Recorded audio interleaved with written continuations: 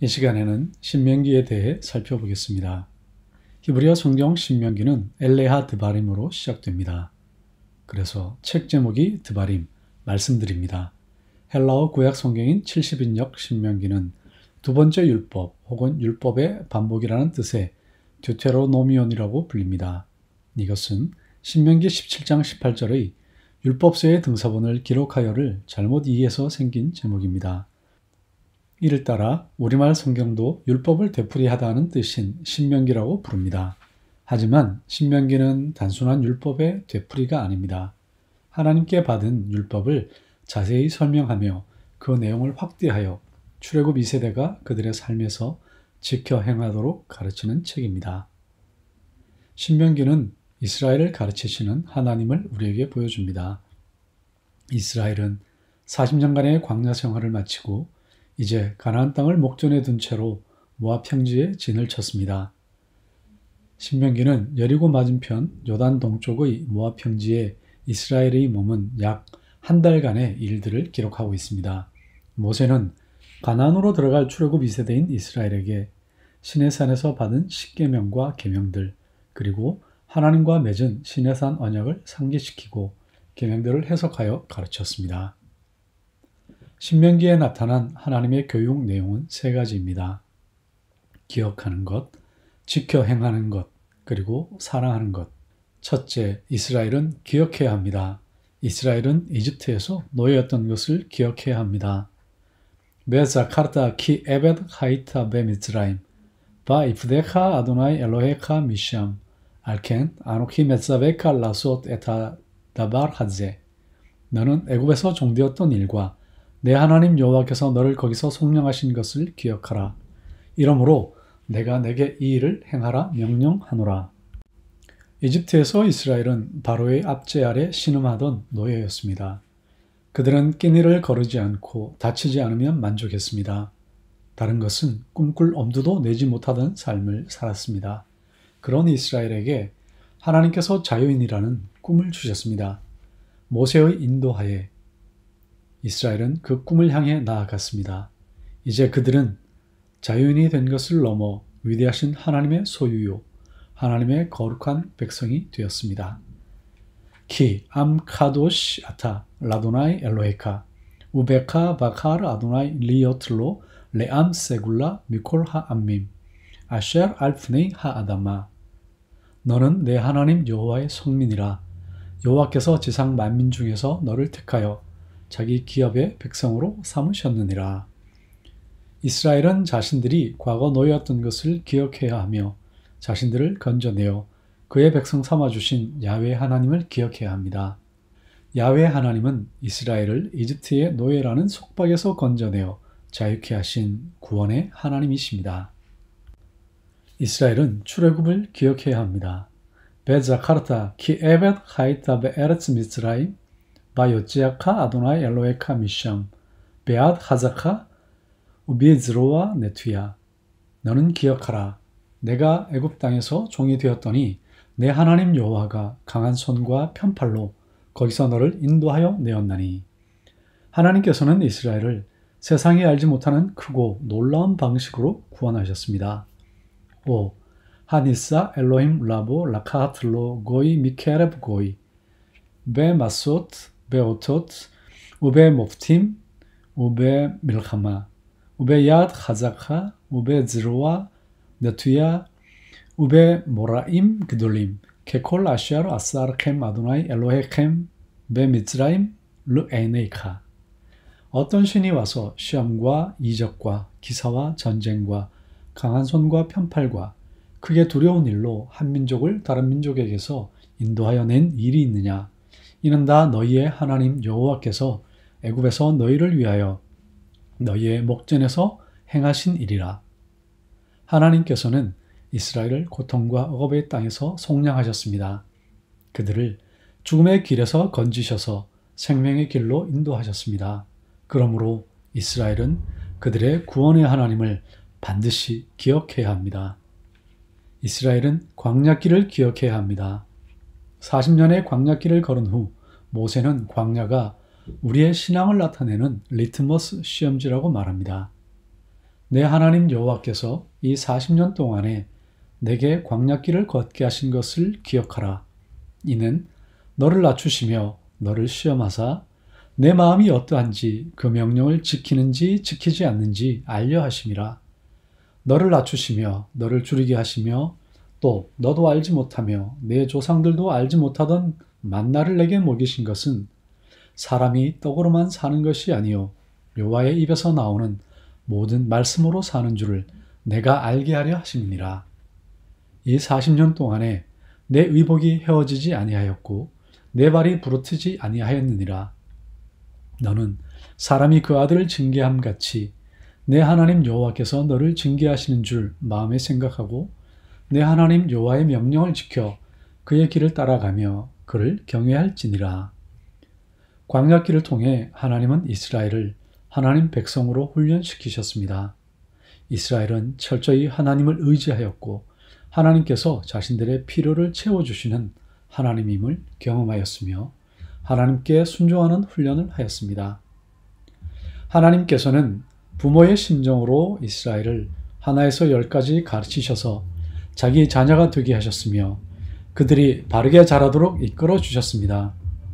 하나님께서 베푸신 부모의 사랑을 이스라엘은 광야에서 온몸으로 체험하였습니다.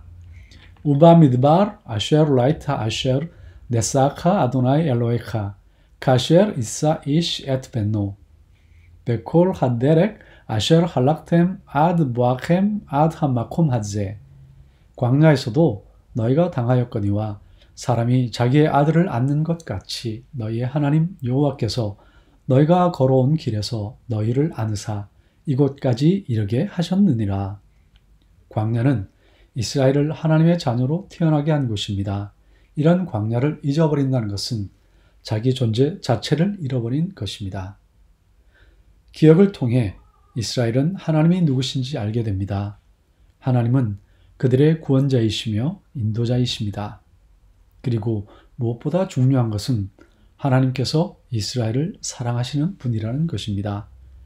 하나님께서 행하신 모든 일들은 하나님의 사랑에서 나온 것입니다. 하나님은 사랑의 하나님이십니다. 하나님의 사랑을 통해 이스라엘은 자신이 어떤 존재인지 알게 됩니다. 이스라엘은 하나님의 보물이요, 하나님의 거룩한 백성입니다. 이스라엘은 하나님께서 사랑하시는 자입니다. 그렇기 때문에 이스라엘은 세상에서 가장 행복한 자입니다. 아슈레카 이스라엘 미카모카 암 노세 바도나이 마겐 에즈레카 베아셔 헤렙 가바테카 베이카슈 오예베카 락 베아타 알 바모테모 티드록 이스라엘이여 너는 행복한 사람이로다. 여호와의 구원을 너같이 얻은 백성이 누구냐? 그는 너를 돕는 방패시요 내 영광의 칼이시로다 내 대적이 내게 복종하리니 내가 그들의 높은 곳을 밟으리로다 둘째, 이스라엘은 하나님의 계명을 지켜 행해야 합니다. 하나님의 지극한 사랑을 받은 이스라엘은 하나님을 경외하고 사랑하여 그 말씀을 듣고 지켜 행해야 합니다. 이것은 하나님을 향한 사랑에서 나오는 자발적 순종입니다. 순종의 다른 말은 믿음이요 사랑입니다. 신명기는 순종을 나타내는 단어 세 가지를 즐겨 사용합니다. 듣다, 샤마, 지키다, 샤마르, 행하다 עשה. 순종의 첫 단계는 잘 듣는 것입니다. ושמעת ישראל, ושמרת לעשות, אשר ייטב לך, ואשר תרבון מאד, כאשר דבר אדוני אלהי, אבתיך, לך ארץ זבת חלב ודבש, שמע ישראל אדוני אלהינו אדוני אחד. 이스라엘아, 듣고 삼가 그것을 행하라.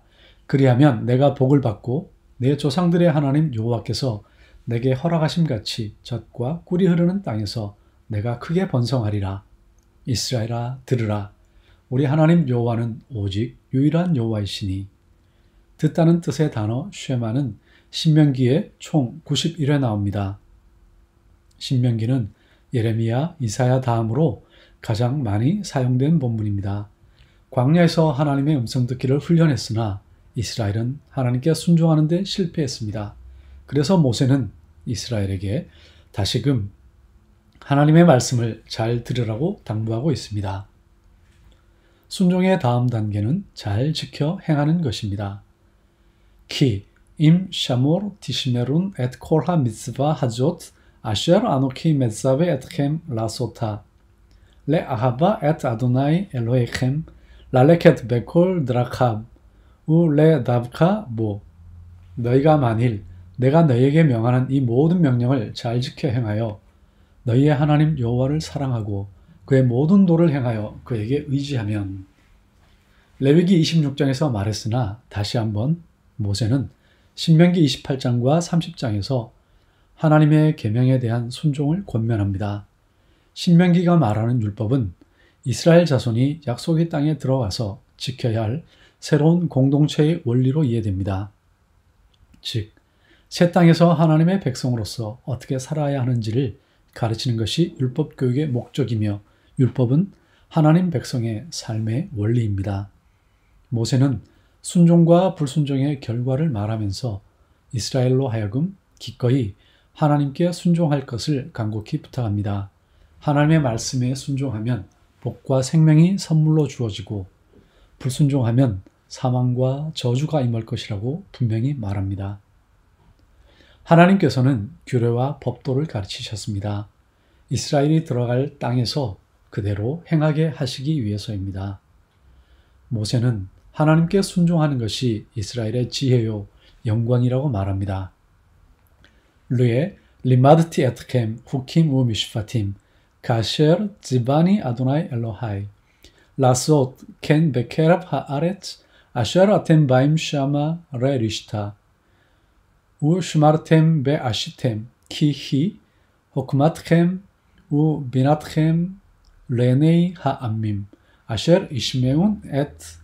후킴 하엘레 베아무로 락암 하캄 베나본 하고이 하가돌 하제 내가 나의 하나님 여호와께서 명령하신 대로 규례와 법도를 너희에게 가르쳤나니 이는 너희가 들어가서 기업으로 차지할 땅에서 그대로 행하게 하려 함인즉 너희는 지켜 행하라.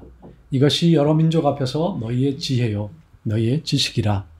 그들이 이 모든 규례를 듣고 이르기를 이 큰 나라 사람은 과연 지혜와 지식이 있는 백성이로라 하리라. 셋째, 이스라엘은 하나님과 이웃을 사랑해야 합니다.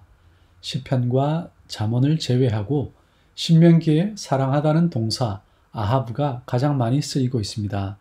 사랑하라는 명령의 대상은 하나님과 이웃입니다. 이제 하나님의 사랑을 받은 이스라엘이 마음과 뜻과 힘을 다해 하나님을 사랑해야 합니다. ואהבת את אדוני אלוהיך בכל לבביך ובכל נפשך ובכל מאודיך 너는 마음을 다하고 뜻을 다하고 힘을 다하여 내 하나님 여호와를 사랑하라. 하나님께서는 이스라엘의 사랑을 원하십니다. 이스라엘이 한눈 팔지 않고 오직 자신만 바라보기를 원하십니다. 특히 신명기는 하나님을 사랑하라는 거룩한 명령을 반복하고 있습니다. 그만큼 하나님은 이스라엘의 사랑을 기뻐하시고 원하시고 있는 분이십니다. 하나님은 이스라엘에게 이웃을 사랑하라고 말씀하십니다. 오셰 미시파트 야툼 베 알마나 ואהב גר לתת לו לחם ושמלה ואהבתם את הגר כי גרים הייתם בארץ מצרים 고아와 과부를 위하여 정의를 행하시며 나그네를 사랑하여 그에게 떡과 옷을 주시나니 너희는 나그네를 사랑하라. 전에 너희도 애굽 땅에서 나그네 되었음이니라.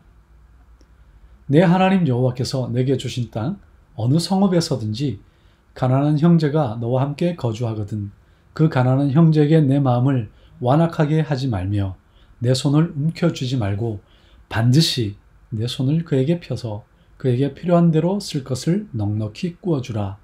너는 반드시 그에게 줄 것이요. 줄 때는 아끼는 마음을 품지 말 것이니라. 하나님은 이스라엘에게 하나님을 사랑하는 것처럼 이웃도 사랑하라고 말씀하십니다. 왜냐하면 이웃을 사랑하는 것이 하나님 사랑의 다른 표현이기 때문입니다. 하나님의 교육은 일방적이고 주입식이 아닙니다. 하나님께서는 이스라엘이 따라야 할 규범을 가르쳐 주십니다. 그리고 하나님께서 친히 어떻게 하는지 모범을 보여주십니다. 그런 이후에 이스라엘이 직접 실천하게 하십니다. 교육하는 동안 하나님은 기다려 주시고 몇 번이고 되풀이해서 가르쳐 주십니다. 무조건 따르게 하지 않으시고 설득하셔서 이스라엘이 스스로 배우고 실천하게 만드십니다. 교육 과정을 거친 이스라엘 부모 세대에게 하나님께서는 그들이 배운 것을 자녀 세대에게 교육하라고 말씀하십니다. 하나님께서 이스라엘을 가르치신 것처럼 이제는 부모가 자녀를 교육하는 것입니다. 이것이 하나님의 교육 방법입니다. 약속의 땅 가나안에서 하나님께서 이스라엘에게 요구하시는 것이 있습니다. 베아타 이스라엘 마 아도나이 엘로헤카 쇼엘 메임막 키임 레 이르아 에타 아도나이 엘로헤카 랄레켓 베콜 드라캅 ולאהבה אתו ולעבד את אדוני אלהיך בכל לבבך ובכל נפשך 이스라엘아 네 하나님 여호와께서 네게 요구하시는 것이 무엇이냐? 곧 네 하나님 여호와를 경외하여 그의 모든 도를 행하고 그를 사랑하며 마음을 다하고 뜻을 다하여 네 하나님 여호와를 섬기고 내가 오늘 네 행복을 위하여 네게 명하는 여호와의 명령과 규례를 지킬 것이 아니냐. 그리고 모세를 통해 하나님께서는 이스라엘에게 자녀 교육에 힘쓸 것을 당부하십니다. 오직 너는 스스로 삼가며 내 마음을 힘써 지키라. 그리하여 내가 눈으로 본 그 일을 잊어버리지 말라. 내가 생존하는 날 동안에 그 일들이 내 마음에서 떠나지 않도록 조심하라. 너는 그 일들을 내 아들들과 내 손자들에게 알게 하라. 내가 호렙산에서 내 하나님 여호와 앞에 섰던 날에 여호와께서 내게 이르시기를 나에게 백성을 모으라. 내가 그들에게 내 말을 들려주어 그들이 세상에 사는 날 동안 나를 경외함을 배우게 하며 그 자녀에게 가르치게 하리라 하심에 신명기는 다음과 같이 세 부분으로 구분할 수 있습니다. 신명기 1장 1절로 4장 43절까지 이것은 모세의 첫 번째 설교입니다. 그 내용은 출애굽과 광야 회고입니다. 두 번째는 신명기 4장 44절로 28장 68절까지입니다. 모세의 두 번째 설교로 율법에 대한 설명이 나옵니다. 4장 44절에서 11장은 10계명 설명을 12장에서 26장은 10계명을 삶에 적용할 것을 27에서 28장은 축복과 저주를 다룹니다. 마지막으로 29장에서 34장은 모세의 세 번째 설교입니다. 모압 언약, 모세의 노래와 축복입니다. 29장에서 30장은 모압 언약을, 31에서 34장은 모세의 노래와 축복입니다. 이상으로 신명기 개관을 마치겠습니다.